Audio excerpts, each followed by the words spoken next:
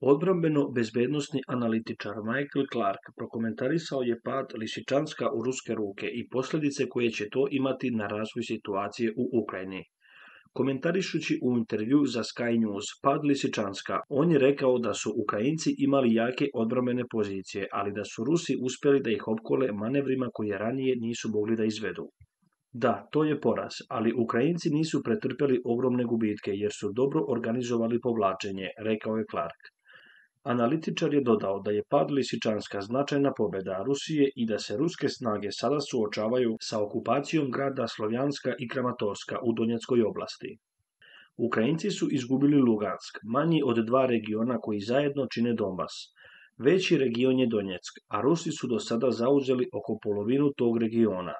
Neće osvojiti ceo dok ne zauzmu Slavjansk i Kramatorsk, a to neće biti lako. Da, ovo je pobjeda Rusije i najznačajnija pobjeda od 25. marta, kada su rekli da je Donbas glavna meta. Međutim, rekli su da žele ceo Donbas, a to neće biti bez Slavjanska i Kramatorska.